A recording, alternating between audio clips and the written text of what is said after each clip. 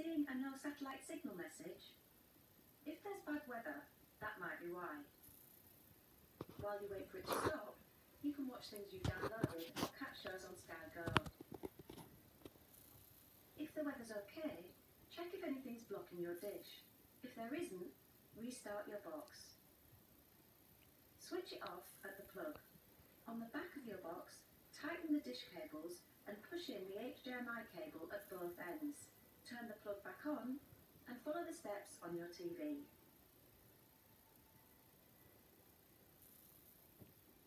You should be able to see all your channels. If you can't and you live in a flat, speak to your property manager. If you don't live in a flat, book an engineer here. Or get in touch here.